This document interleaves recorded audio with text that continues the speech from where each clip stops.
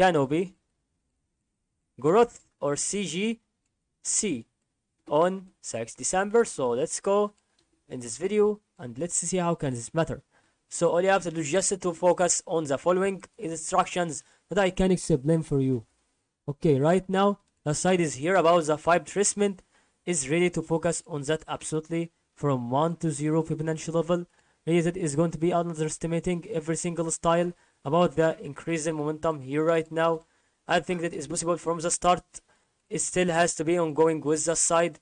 It has to be really very good on this wave.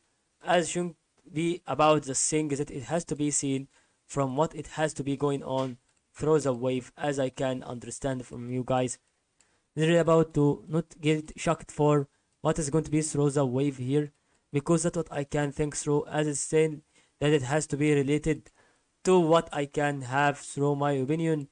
As should be understood through the increasing momentum really is having every single part that it goes on with canopy growth. Okay that is very important to focus on such of these things because it still has a style of what is going about the side it has to be related to what I can go through. If you wanted to have to understand that correctly and clearly for canopy growth on the side on this day and it has to increase in momentum next time.